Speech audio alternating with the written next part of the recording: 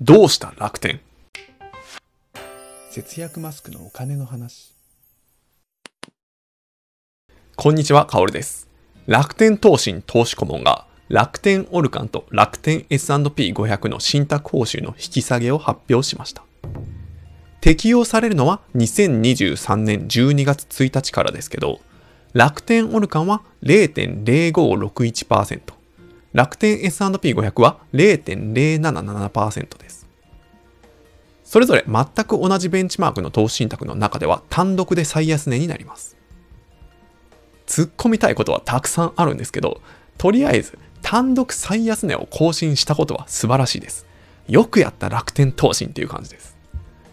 私は楽天オルカンと楽天 S&P500 が発表されてすぐに辛口批評の動画を出しました。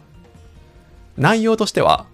楽天証券でしか買えない、投資信託の保有でもらえるポイントがない、純資産額が少ない、隠れコストもわからない、そんな状態でスリムシリーズの真似して最安値の信託報酬に合わせたところで誰の心にも響かねえぜみたいなものでした。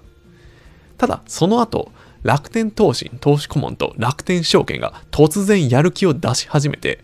投資信託の保有ポイントを復活させたり信託報酬を引き下げたり誰も予想していなかった改善を立て続けに発表して暴れ回っています。この楽天の動きが予想外すぎて面白かったので感じたことをさらっとお話ししていきます。年表で簡単に楽天証券と楽天投信の状況をまとめていきます。楽天証券は楽天経済圏っていうパワーワードまで生み出して凄まじい勢いで口座開設数を伸ばしていました。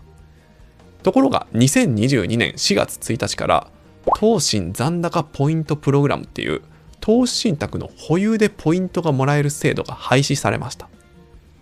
私はこの時点で基本的に動画でおすすめする証券会社は SBI 証券に一本化しました。そしてさらに2022年9月からはクレジットカード積立の還元率を1%から0.2%に引き下げました。楽天証券がユーザーを大量に獲得してトップの SBI 証券を猛追するきっかけになったのは間違いなくクレジットカード投資のおかげでもあったのでこれは残念な解約でしたね。まあ、といっても実際は楽天キャッシュで投資ができるようになってしかも楽天ギフトカードで楽天キャッシュを調達できるようになったことによって裏技的に高い還元率で投資できるようになったのでポイ活好きとしてはとっても助かっています。ただ一般的な個人投資家からすればこれも大きな解約になっていたんじゃないでしょうかこの頃の楽天証券は楽天モバイルの赤字の穴埋めがしたかったからなのかわからないですけど残念な解約を立て続けに発表してきました。ただ証券会社を変更するのもめんどくさいって思う人も多かったりでそこまで大きな流出はなかったのかもしれません。ただ2022年12月に新 NISA が発表されて状況は一変しました。1人当たり年間最大360万円、障害限度額1800万円の非課税枠が与えられることになって、証券会社が本気を出さざるを得ない状況になったんです。NISA 口座は1人1口座しか作れない上に、商品を移し替えるっていうこともできないので、証券会社としては2024年以降の新 NISA の口座を何としても自分のところで開設してもらいたいんです。しかも2023年までの NISA とか積立 NISA とは別で管理されることになるので NISA 口座を変更することへの抵抗が少なく感じた人も多かったと思います。実際に私は解約を残念に思いつつも2023年まで楽天証券で積立 NISA をやっていましたけど2024年の新 NISA からは SBI 証券に変更する手続きを済ませましたただ新 NISA を前にしてさすがに楽天証券も今の状態じゃまずいと思ったのか2023年6月にカード積み立ての還元率を0.5%に引き上げました2022年9月に0.2%に解約してから1年も経ってないのにまた変更するあたり新 NISA を意識してサービスを良くしようとしている気がしますよね。ただ、このサービスは解約前の無料の楽天カードでどの投資信託に積み立てしても1%のポイントがもらえるっていう内容ではなかったので、あんまりインパクトはありませんでした。まあ、そりゃそうですよね。マネックス証券も au 株コム証券も年会費無料のカードを利用した積み立てで1%とか1.1%の還元があるようになっている中で今更他社より劣るカード還元を復活させても喜ぶのは既存の楽天証券ユーザーだけですそれで結局何も手を打たないまま来年からの NISA 口座の変更手続きができる10月になりました。どのくらいかはわからないですけど私を含めてある程度の数のユーザーが NISA 口座の変更手続きをしたと思います。なぜかそのタイミングで楽天投信は楽天オルカンと楽天 S&P500 の新規設定のお知らせを出しました。これは何だったんでしょうね。もっと前に出せなかったんでしょうかね。そして10月27日の楽天オルカンと楽天 S&P500 の設定開始日にこの2銘柄に限って投資信託の保有でポイントがもらえるシステムを復活させることを発表しました。なぜ最初から言わない？そしてなぜもっと早く楽天オルカンと楽天 S&P500 を設定しなかったんだ？もちろんいろいろ内部事情があるんでしょうけど、やっていることがちぐはぐしている印象を受けてしまいました。そして極めつけが冒頭でもお話しした11月8日に発表された信託報酬率引き下げのお知らせです。楽天オルカンと楽天 S&P500 は他社類似ファンドの運用コストに注意を払い、業界最低水準を目指すっていうことを宣言しているので、他社が引き下げをしてそれに合わせるならわかりますけど、突然謎に単独で最安値を更新してきました。これは全く予想していなかったので面白かったです。楽天投資を見直しました。ただ正直何を考えているのかはよくわからないです。だって10月27日に設定したファンドの信託報酬を11月8日に引き下げる発表してるんですよ。しかも他社が引き下げたわけでももっと安いファンドを出したわけでもないのに。だったら最初からその信託報酬で出せばよかったじゃん。楽天証券はあの新 NISA で SBI 証券に対抗するために株式の売買手数料を無料にしたりした影響だと思うんですけど上場を延期せざるを得ない状況になってしまったんですよね。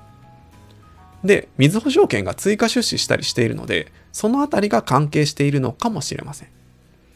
もしくは、ただ単純に10月を迎えて想像した以上に NISA の廃止申し込みが多すぎただけかもしれません。実際のところはわからないですけど、とりあえず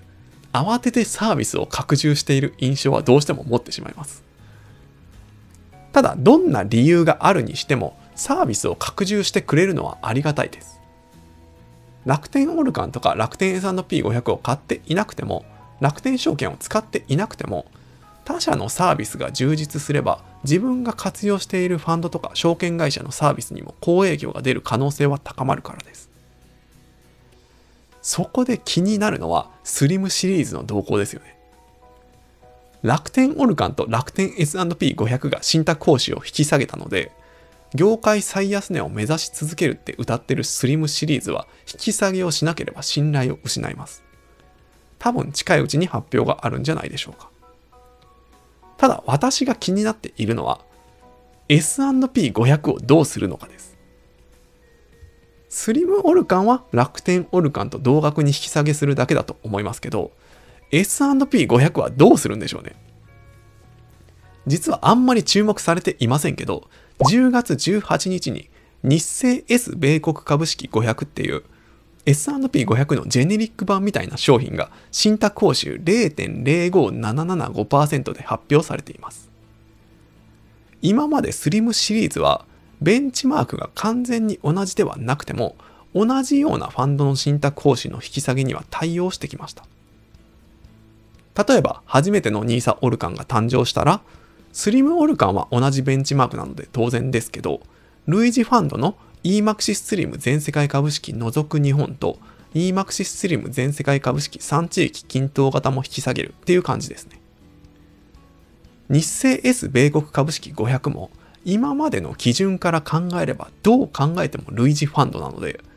私は0.05775%に合わせてくる可能性が高いと考えています。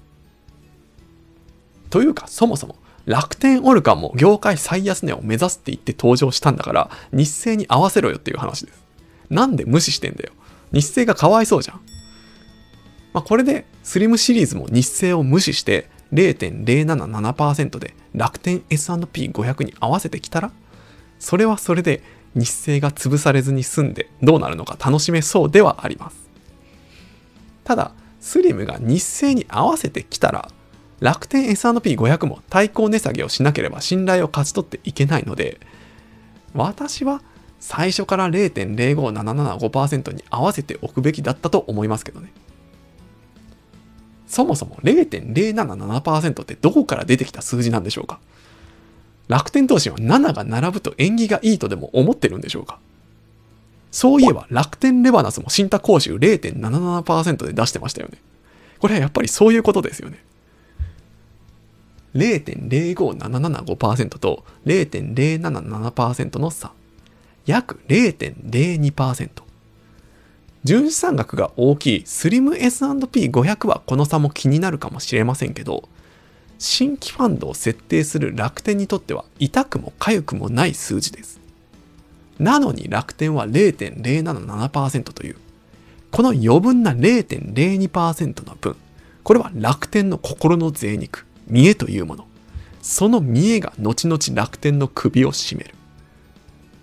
とまあ、利根川さんのセリフを引用してみましたけど、結果はスリムがどう出るか次第です。私は EMAXIS スリム米国株式 S&P500 を結構保有しているので、オルカン戦線より S&P500 が気になりますね。皆さんはどうなると思いますか？